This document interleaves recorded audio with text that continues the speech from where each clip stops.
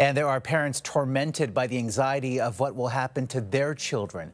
CTV's Vanessa Lee on the injured and those suffering from the emotional trauma.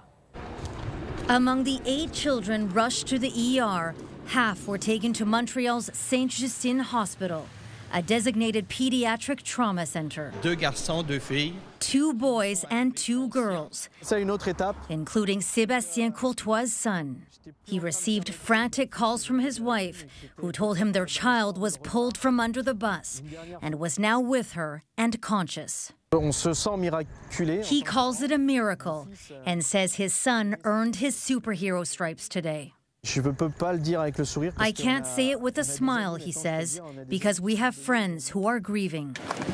That pain is being felt through the community and beyond as parents struggle to understand how they went from hugging and kissing their children goodbye for the day to facing this horrifying scene. Everyone was panicking, crying, uh, you know, incomprehension. Are the kids okay?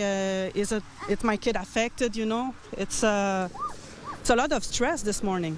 Around 80 kids attend the daycare. The room closest to the front belongs to the butterfly group, the four and five year olds. Oui, j'ai vu mes deux petits.